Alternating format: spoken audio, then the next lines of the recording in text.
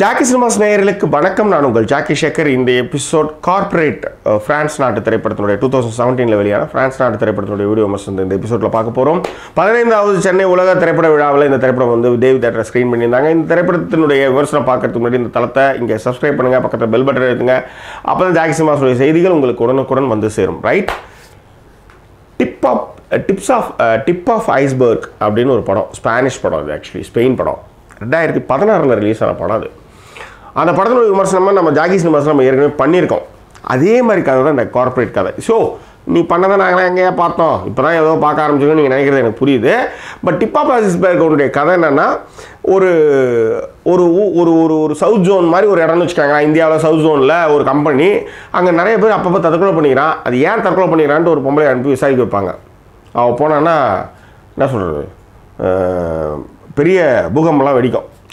அந்த மாதிரி இந்த திரைப்படத்தில் கார்ப்பரேட் படத்தில் வந்து என்னென்னா வேலையை விட்டு தூக்குவாங்க. அப்போ இந்த ஏர் படத்தில் வேலையை விட்டுலாம் தூக்குவாங்க இல்லையா? தூக்குவாங்கல்ல அதே மாதிரி தான் இந்த படத்துலையும் வந்து வேலையை விட்டு தூக்குறப்ப ஒருத்தன் என்ன பண்ணுறான் தற்கொலை பண்ணிக்கிறான். அந்த தற்கொலையினுடைய விஷயம் வந்து நாயகி மேலே எல்லாருமே கம்பெனியே திருப்பிடுது அவளை மேலே. அவளை மாட்ட வைக்கிறது எல்லா வேலையும் பண்ணுறாங்க அவள் எப்படி அதுலேருந்து வெளியே வந்தா? அப்படின்னு தான் அந்த கார்ப்பரேட் திரைப்படத்துடைய கதை.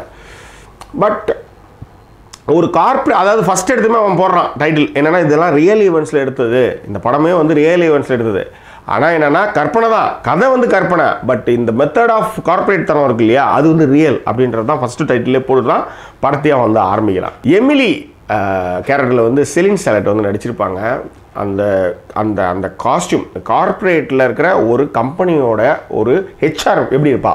அப்படின்ற மாதிரி ஒரு ஷர்ட் ஒரு ப்ளூ ஷர்ட் ஒரு கருப்பு பேண்ட் ஒரு சின்ன பெல்ட் அசத்தலாக எப்படி நாற்பது வயசுக்கு மேலே இருக்கும் அந்த பொம்பளைக்கு. ஆனால் பார்க்குறதுக்கு அவ்வளோ சிக்கனும் அவ்வளோ சூப்பராக ஒரு பையனாக இருக்க அம்மாவை நடிச்சிருப்பாங்க அவ்வளோ அந்த தவிப்பு வேதனை அந்த பதட்டம் தன்னை எல்லாருமே வந்து கார்னர் பண்ணிடுறாங்கன்ற ஒரு பயம் எல்லாம் சேர்ந்த கலவையே அவங்க வந்து இந்த படத்தில் வந்து அவ்வளோ விஷயத்த பண்ணியிருப்பாங்க. சான்ஸே இல்லாத ஒரு நடிப்பு.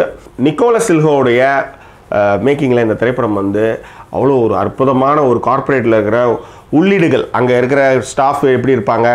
ஒருத்தவ வந்து பலியாக வரான்னா அவளை அவளை எத்தனை பேர் வந்து பலி கொடுப்பாங்க? அதுக்கு முன்னாடி வந்து அவங்ககிட்ட எப்படி குழஞ்சி பேசுவாங்க? திரும்ப அவங்களே வந்து எப்படி எதிர்த்து நடந்துக்குவாங்க? என்ற கார்ப்பரேட்டில் இருக்கிற மக்கள் அத்தனை பேர் அவசியம் பார்க்க வேண்டிய ஒரு திரைப்படம் தான் இந்த கார்ப்பரேட் மூவி. இந்த திரைப்படத்துக்கு ஜாக்கி சிம்மா சொல்லக்கூடிய மதிப்பெண் ஐந்துக்கு மூன்று. இந்த திரைப்படம் வந்து பார்க்க வேண்டிய ஒரு திரைப்படம் என்று ஜாக்கி சினிமாஸ் பரிந்துரைக்கின்றது. வேற என்ன? உள்ளூர் சினிமாவிலிருந்து உலக சினிமா வரை இந்த த அஹ், அலசுகின்றது.